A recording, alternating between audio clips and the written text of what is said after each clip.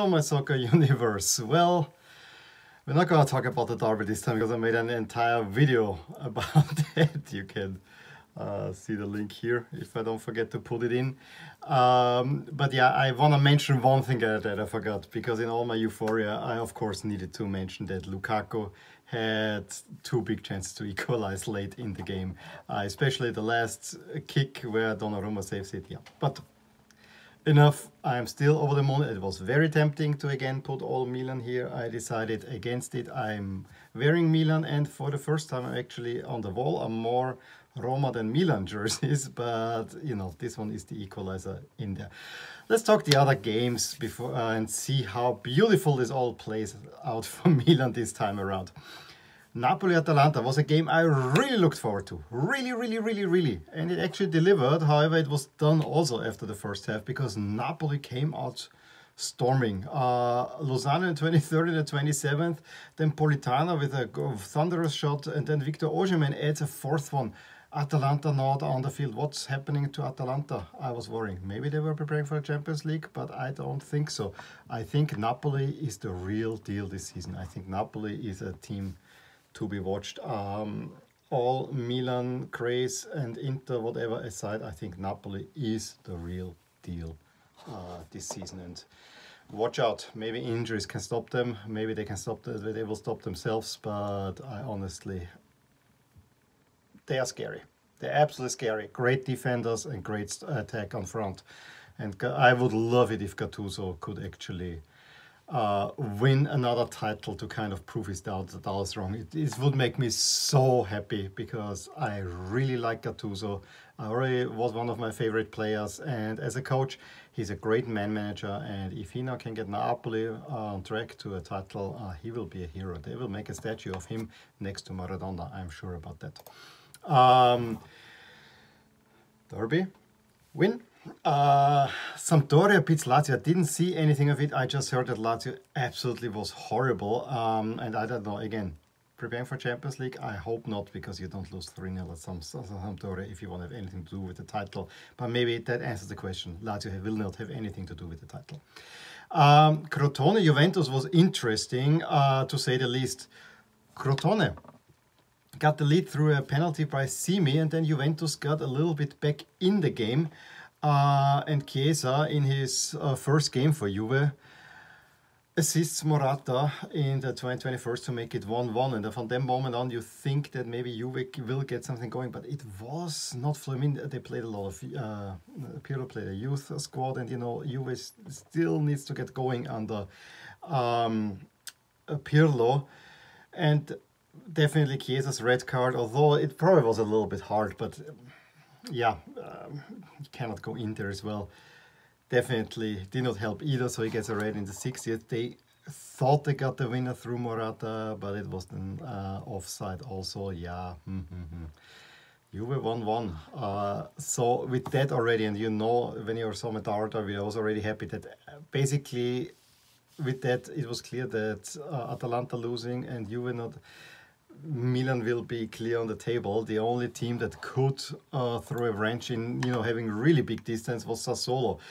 And for the longest of times, it really looked that Bologna will do me and all Milan fans the favor to open a huge gap for Milan. Uh, they were 3-1 up. Yes, Berardi equalized in the 18th, but Svanberg, Orsolini, and uh, the first goal by Soriano. Bologna looked really fine going forward. In 60th minute, they're up 3-1. However, Djuricic very quickly pulls one back. Uh, they were also then, after 3-1, the coach, um, is it Acerbi? Uh, made uh, three changes and that changed the complexion of the game. Caputo in the 70th gets the equalizer and then with an own goal, Otto Mayas in the 77th. See, they didn't even take so long. 50 minutes, they turned the game, game around and get a win. And yes, you have to say that Sassuolo is also one of those really exciting teams. They are the mini Atalanta. Um, it was an early game, and so I didn't think about watching it uh, this December. But Sassuolo, always, always watch Atalanta, even if they lose. Sassuolo is also a team that is worth your time, definitely. If you're uh, new kind of to Serie A, it's gonna be an exciting season. I see it.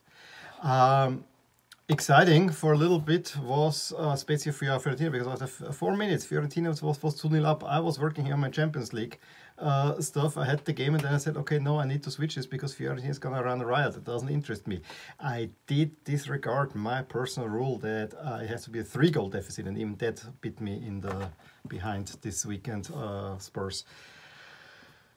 But then I said, okay, yeah, let's switch it. And I was then flabbergasted when I saw a little bit later that it's actually 2-1 uh, and uh, because Verde put one back. And uh, Farias in the 75th gets the equalizer and then Spezia was pressing. They should have won that game. Honestly, they should have won that game. I really like the Fiorentina jerseys. At first, I, I, I did not really get it. I thought that um, they're playing in Florence.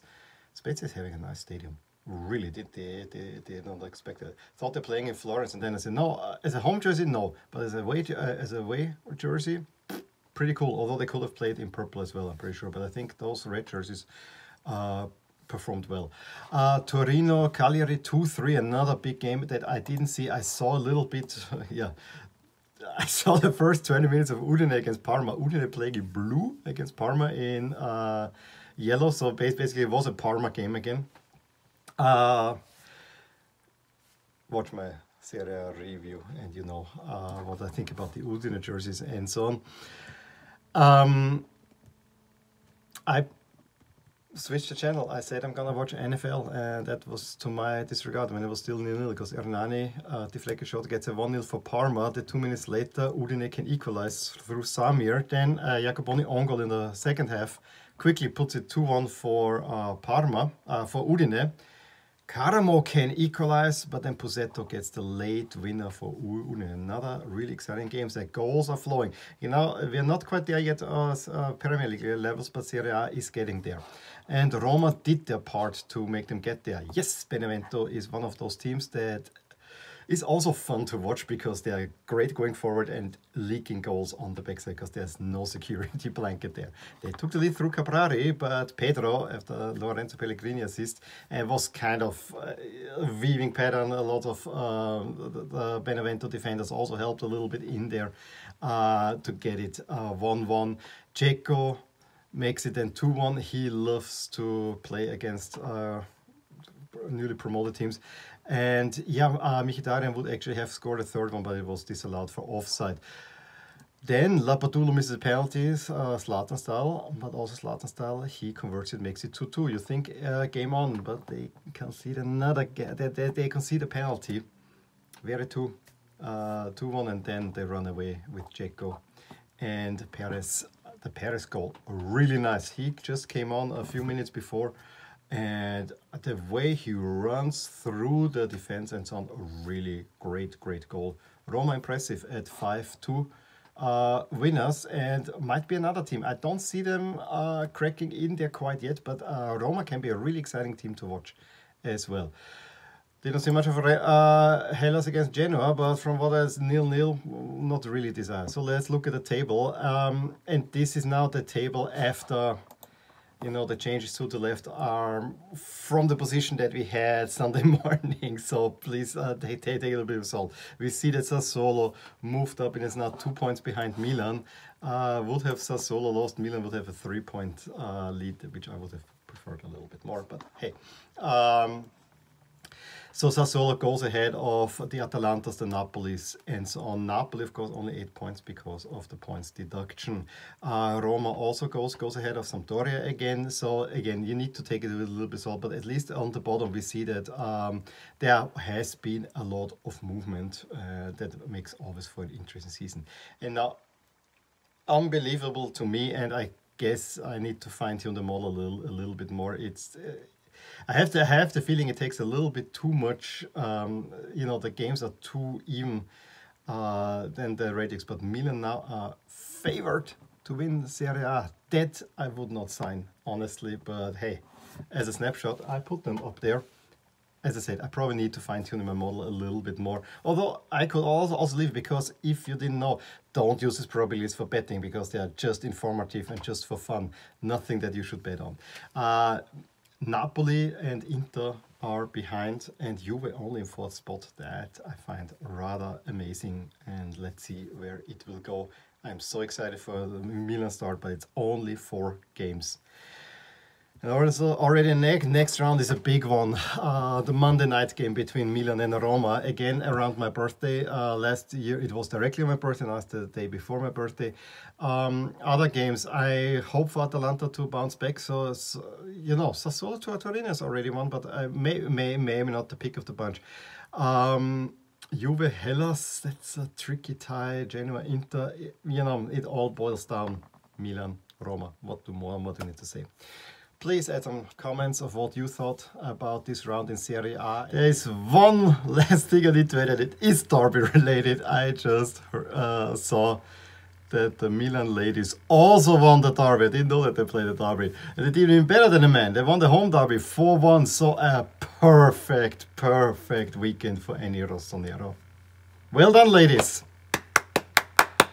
Give me a thumbs up if you enjoyed this video. Subscribe to my channel to see more. And I'll talk to you soon. Bye. Hey there, I really hope you enjoyed this video and if you did, here are some videos and playlists that you might enjoy too. Also, please consider subscribing to my channel and clicking the little bell icon so that you get an update whenever something happens in my soccer universe. And with that, wish you a wonderful day. Bye!